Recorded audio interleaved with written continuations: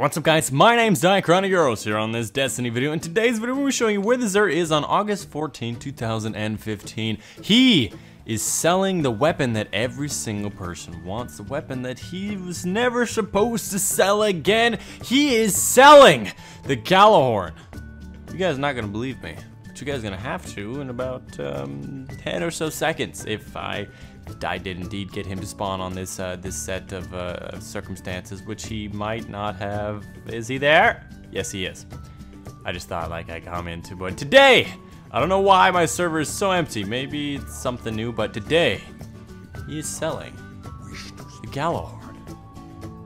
I, I just, it feels weird.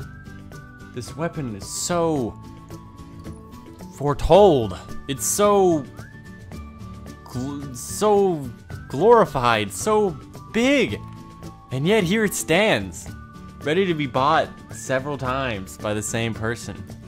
And yet so ironic because I literally received my seventh Gjallarhorn not even 28 hours ago on the previous Nightfall. and that is what the Xur is selling. Hope you guys did enjoy. I'm just kidding. I'm gonna be going through the other things just for you guys that want to hear. Insurmountable Skullfort, a melee-based Titan uh, helmet that is in a. It's it's. I would say it's average. Really nothing that great. It's a high discipline, so it's pretty good. It's actually 135 compared to what I max out uh, at why is it showing me? Uh, which I max out at like 116 or something, so that's that's pretty intense.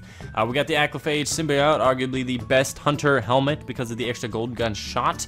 Um, there might be new ones that are good, but this is like one of the best. Uh, we have Light Nemesis, the one where you revive faster, uh, teammates revive you faster, big. Um, uh, on pretty much any class if you get the one Alpha Lupi for either one of the other classes. And again, we got that Gjallarhorn, the best PvE weapon in the entire game about to receive an incredible nerf, and I'm saying incredible because holy shit, they've sold this on week two. 11 months later, they finally sold it again. What is that, like 48 weeks? 48? Jesus Christ, that is, I, I just still can't go to. We got some uh, glove gauntlets, so if you ever want some exotic room, some gloves, you got all the, who cares, am I right? There's a Gjallarhorn in the store, there's the best hunter helmet in the store, an average titan, a, a decent uh, warlock helmet, and who cares? We are this is the Gjallarhorn. It's right there. I can't believe it. I was hoping they'd do this on April 1st, but I guess they couldn't wait. I'm guessing that they wanted to bring hype back into to, into Destiny before uh, before the Taken King to get people back playing it, being like, yo, the Gjallarhorns, as well as just because it's about to receive a nerf. It's, um... It's, uh, it feels weird. It, it honestly does. But anyways, that's the video for guys today. There's really not much more to say. If you guys are still listening to the video, um, just like to mention, I did a face reveal over on my channel. The video released yesterday um, on the 13th. Go check it out. Let me know. Most people thought I was black. Am I black?